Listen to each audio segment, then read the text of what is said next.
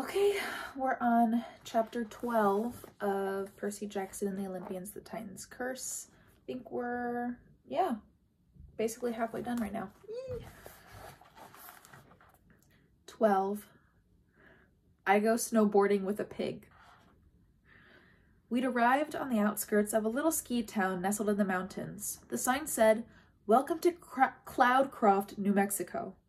The air was cold and thin. The roofs of the cabins were heaped with snow, and dirty mounds of it were piled up on the sides of the streets. Tall pine trees loomed over the valley, casting pitch black shadows, though the morning was sunny. Even with my lionskin coat, I was freezing by the time we got to Main Street, which was about half a mile from the train tracks.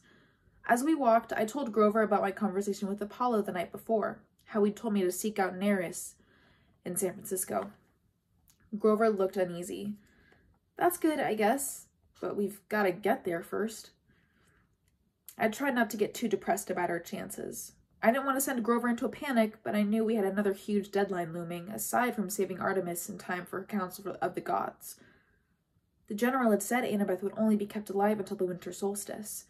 That was Friday, only four days away. And he'd said something about a sacrifice. I didn't like the sound of that at all. We stopped in the middle of town. You could pretty much see everything from there a school, a bunch of tourist stores and cafes, some ski cabin, cabins, and a grocery store. Great, Talia said, looking around. No bus station, no taxis, no car rental, no way out. There's a coffee shop, said Grover. Yes, Zoe said. Coffee is good. And pastries, Grover said dreamily. And wax paper. Talia sighed. Fine. How about you two go get us some food? Percy, Bianca, and I will check in the grocery store. Maybe they can give us directions. We agreed to meet back in front of the grocery store in 15 minutes. Bianca looked a little uncomfortable coming, coming with us, but she did. Inside the store, we found out a few valuable things about Cloudcroft.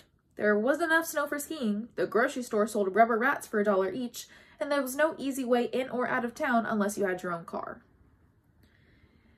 You could call for a taxi from Al Alamogordo, the clerk said doubtfully. That's down at the bottom of the mountains, but it would take at least an hour to get here.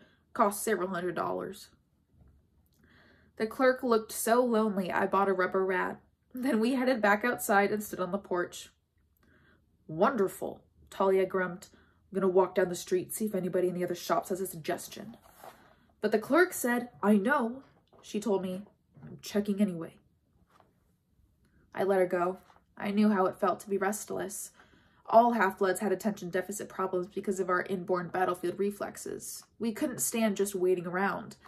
Also, I had a feeling Talia was still upset over our conversation last night about Luke. Bianca and I stood together awkwardly. I mean, I was never very comfortable talking one-on-one with girls anyway, and I'd never been alone with Bianca before. I wasn't sure what to say, especially now that she was a hunter and everything. Nice rat, she said at last.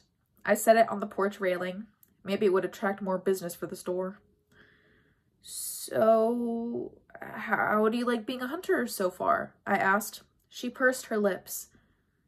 You're not still mad at me for joining, are you? Nah, long as, you know, you're happy. I'm not sure happy is the right word with Lady Artemis gone, but being a hunter is definitely cool. I feel calmer somehow. Everything seems to have slowed down around me. I guess that's the immortality.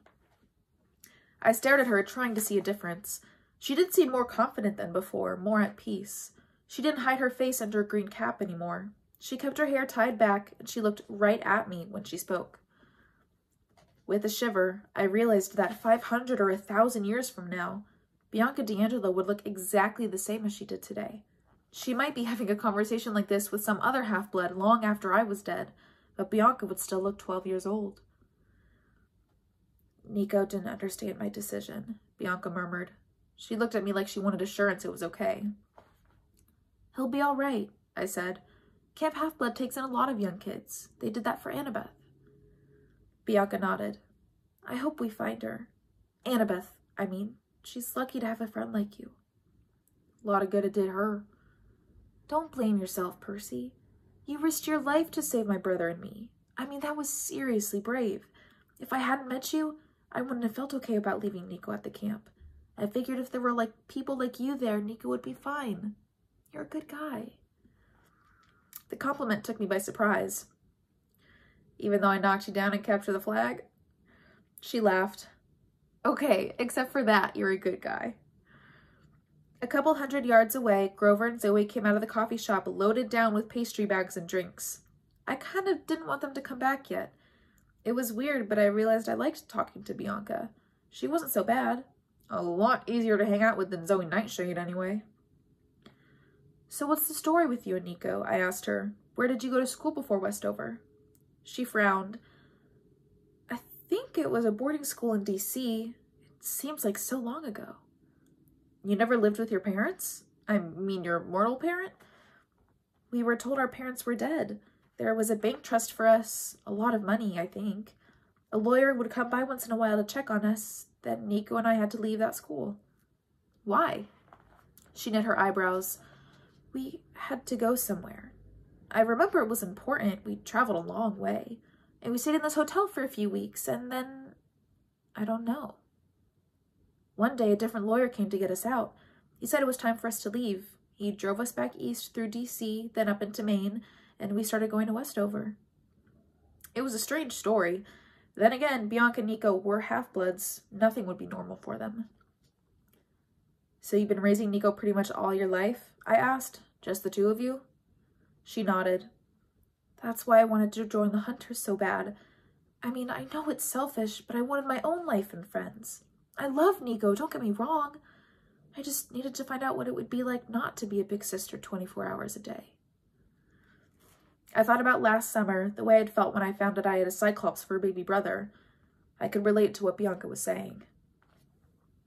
Zoe seems to trust you, I said. What were you guys talking about anyway? Something dangerous about the quest? When? Yesterday morning on the pavilion, I said before I could stop myself. Something about the general?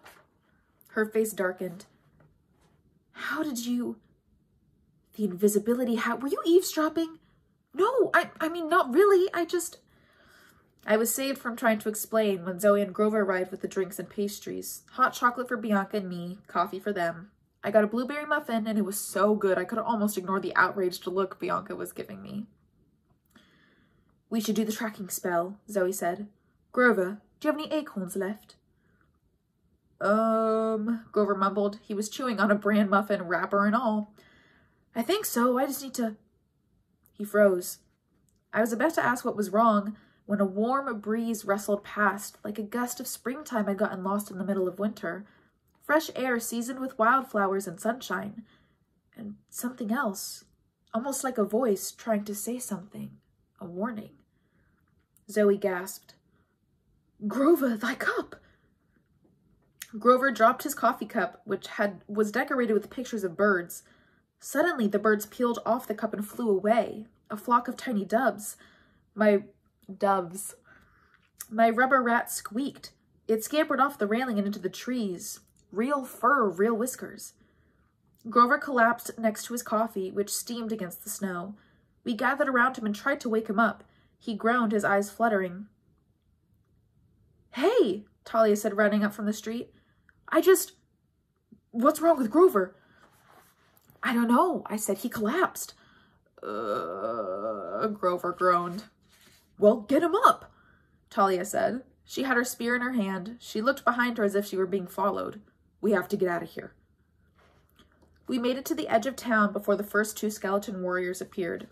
They stepped from the trees on either side of the road Instead of gray camouflage, they were now wearing blue New Mexico State Police uniforms, but they had the same transparent gray skin and yellow eyes.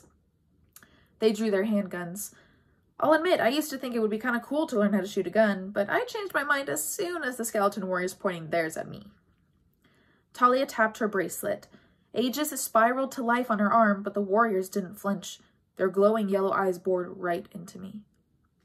I drew Riptide, though I wasn't sure what good it would do against guns. Zoe and Bianca drew their bows, but Bianca was having trouble because Grover kept swooning and leaning against her. Back up, Talia said. We started to, but then I heard a rustling of branches. Two more skeletons appeared on the road behind us. We were surrounded. I wondered where the other skeletons were. I'd seen a dozen at the Smithsonian. Then one of the warriors raised a cell phone to his mouth and spoke into it. Except he wasn't speaking. He made a clattering, clicking sound like dry teeth on bone. Suddenly, I understood what was going on. The skeletons had split up to look for us. Those these skeletons were now calling calling their brethren. Soon we'd have a full party on our hands.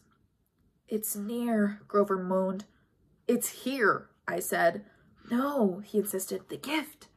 The gift from the wild. I didn't know what he was talking about, but I was worried about his condition.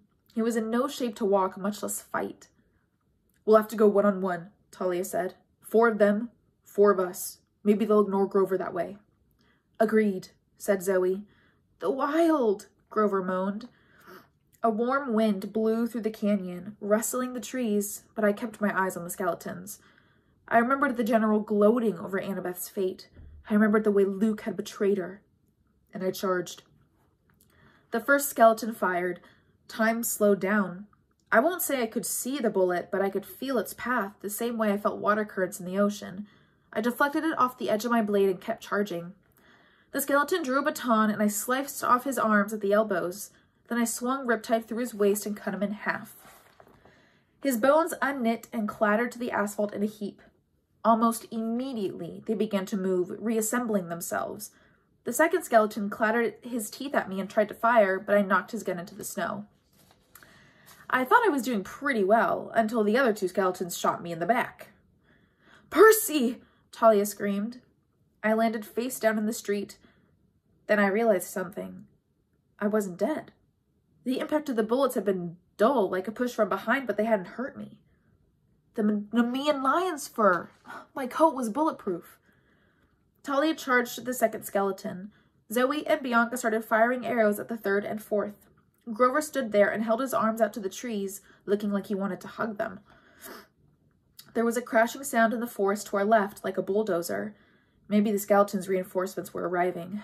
I got to my feet and ducked a police baton. The skeleton I'd cut in half was already fully reformed coming after me. There was no way to stop them. Zoe and Bianca fired at their heads point blank, but the arrows just whistled straight through their empty skulls. One lunged at Bianca, and I thought she was a goner, but she whipped out her hunting whipped out her hunting knife and stabbed the warrior in the chest.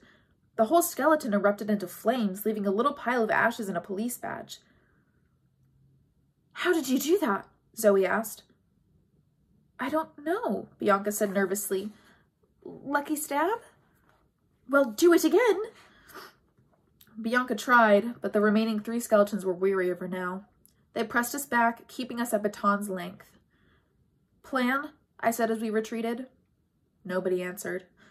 The trees behind the skeletons were shivering. Branches were cracking. A gift, Grover muttered. And then with a mighty roar, the largest pig I had ever seen came crashing into the road. It was a wild boar, 30 feet high, with a snotty pink snout and tusks the size of canoes. Its back bristled with brown hair, and its eyes were wild and angry. Reet! It squealed and raked the three skeletons aside with its tusks.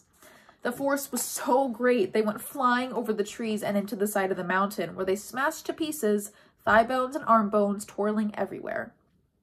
Then the pig turned to us. Talia raised her spear, but Grover yelled, Don't kill it! The boar grunted and pawed the ground, ready to charge. That's the Erymanthian bull, Zoe said, trying to stay calm. I don't think we can kill it. It's a gift, Grover said. A blessing from the wild. The boar said, Reet, and swung its tusk. Zoe and Bianca dived out of the way. I had to push Grover so he wouldn't get launched into the mountain on the Boar Tusk Express. Yeah, I feel blessed, I said. Scatter! We ran in different directions, and for a moment the boar was confused. It wants to kill us, Talia said. Of course, Grover said. It's wild. So how is that a blessing? Bianca asked. It seemed a fair question to me, but the pig was offended and charged her. She was faster than I'd realized. She rolled out of the way of its hooves and came up behind the beast. It lashed out with its tusks and pulverized the Welcome to Cloudcroft sign. I racked my brain, trying to remember the myth of the boar. I was pretty sure Hercules had fought this thing once, but I couldn't remember how he'd beaten it.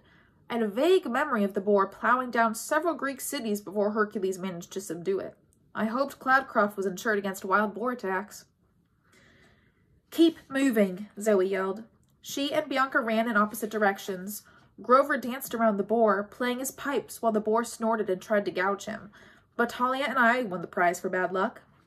When the boar turned on us, Talia made the mistake of raging, raising Aegis in defense. The sight of the Medusa head made the boar squeal in outrage. Maybe it looked too much like one of his relatives. The boar charged us. We only managed to keep ahead of it because we ran uphill and we could dodge, dodge in and out of trees while the boar had to plow through them. We only managed to keep ahead of it. Nope, I read that already. Sorry. On the other, other side of the hill, I found an old stretch of train tracks half buried in the snow. This way. I grabbed Talia's arm and we ran along the rails while the boar roared behind us, slipping and sliding as he tried to navigate the steep hillside. Its hooves just were not made for this, thank the gods. Ahead of us, I saw a covered tunnel. Past that, an old oh, trestle bridge spanning a gorge. I had a crazy idea. Follow me. Talia slowed down. I didn't have time to ask why, but I pulled her along and she reluctantly followed. Behind us, a 10 ton pig tank was knocking down pine trees and crushing boulders under its hooves as it chased us. Talia and I ran into the tunnel and came out on the other side. No! Talia screamed. She turned white as ice. We were at the edge of the bridge. Below, the mountain dropped away into a snow-filled gorge about 70 feet below. The boar was right behind us. Come on, I said. It'll hold our weight, probably. I can't, Talia yelled. Her eyes were wild with fear. The boar smashed into the covered tunnel, tearing through at full speed. Now, I yelled at Talia. She looked down and swallowed. I swear she was turning green. I didn't have time to process why.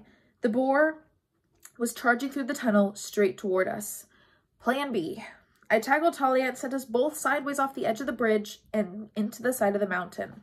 We slid on Aegis like a snowboard over rocks and mud and snow, racing downhill. The boar was less fortunate. It couldn't turn that fast, so all 10 tons of the monster charged out onto the tiny trestle, which buckled under its weight.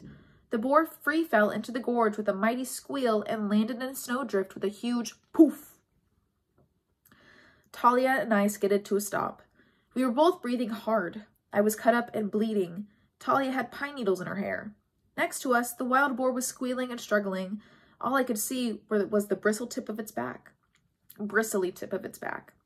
It was wedged completely in the snow like styrofoam packing. It didn't seem to be hurt, but it wasn't going anywhere either. I looked at Talia. You're afraid of heights. Now that we were safely down the mountain, her eyes had their usual angry look. Don't be stupid. That explains why you freaked out on Apollo's bus. Why you didn't want to talk about it. She took a deep breath. Then she brushed the pine needles out of her hair. If you tell anyone, I swear. No, no, I said. That's cool. It's just the daughter of Zeus, the lord of the sky, afraid of heights. She was about to knock me into the snow when above us Grover's voice called, Hello? Down here, I shouted. A few minutes later, Zoe, Bianca, and Grover joined us. We stood watching the wild boar struggle in the snow. A blessing of the wild, Grover said, though he now looked agitated. I agree, Zoe said. We must use it. Hold up, Talia said irritably. She still looked like she'd just lost a fight with a Christmas tree. Explain to me why you're so sure this pig is a blessing? Grover looked over, distracted. It's our ride west. Do you have any idea how fast this boar can travel? Fun, I said. Like pig cowboys. Grover nodded. We need to get aboard. I wish... I wish I had more time to look around, but it's gone now. What's gone? Grover didn't seem to hear me. He walked over to the boar and jumped onto its back. Already, the boar was starting to make some headway through the drift. Once it broke free, there'd be no stopping it. Grover took out his pipes. He started playing a snappy tune and tossed an apple in front of the boar. The apple floated and spun right above the boar's nose, and the boar went nuts, starting to get to it. Oh, straining to get it. Whoopsies. Automatic steering, Talia murmured. Great. She trudged over and jumped on behind Grover, which still left plenty of room for the rest of us. Zoe and Bianca walked toward the boar. Wait a second, I said. Do you two know what Grover's talking about? This wild blessing? Of course, Zoe said. Did you not feel it in the wind? It was so strong. I never thought I would sense that presence again. What presence? She, she stared at me like I was an idiot. The Lord of the Wild, of course. Just for a moment, in the arrival of the boar, I felt the presence of Pan. And that is the end of chapter 12.